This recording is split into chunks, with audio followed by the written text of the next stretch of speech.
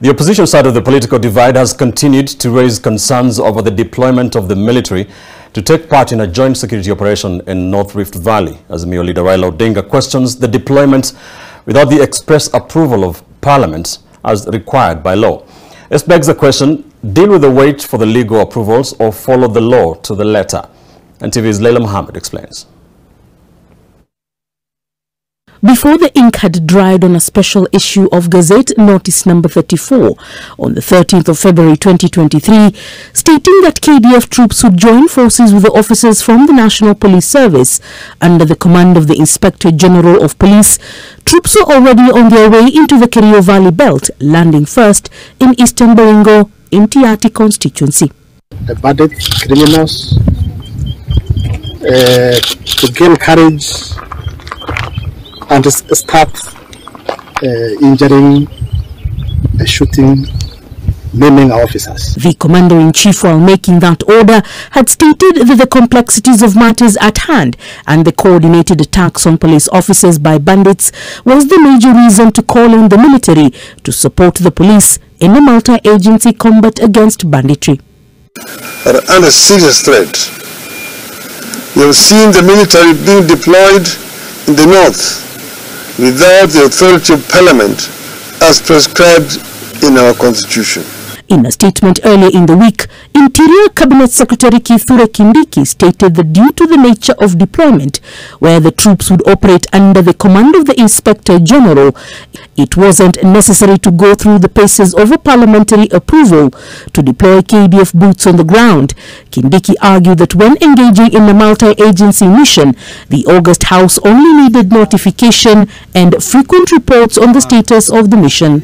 Wale watu wajeuri wachache wako pale wanajaribu kutuonyesha uzuri, tutapimana na wao na tutahakikisha kwamba hakuna Mkenya anapoteza maisha yake. In case an internal security matter gets out of hand, the Commander-in-Chief is guided by Article 33 of the KDF Act, which allows for such deployment of troops in situations of emergency or disaster. It's clear that nobody can deploy the military without the express authority of Parliament. The Act also gives guidelines on how the operation will be conducted. It states that such a deployment shall comply with constitutional standards relating to human rights and fundamental freedoms, with the Cabinet Secretary expected within 24 hours to issue a notice in the Gazette of the commencement of such deployment. They have the numbers, they have the resources. It's an issue of continuous engagement and commitment. In the case of ending the operation, the CS shall again also within 24 hours issue notice in the Gazette of the discontinuation of the deployment.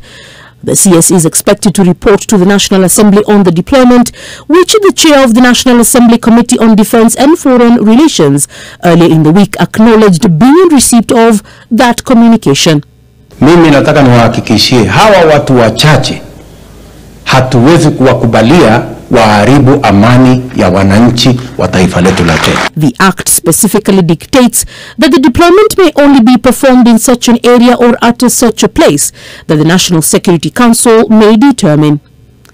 The KDF Act also states that such a deployment shall be performed in accordance with the Code of Conduct and operational procedures on the regulation of KDF support operations approved by the Defence Council.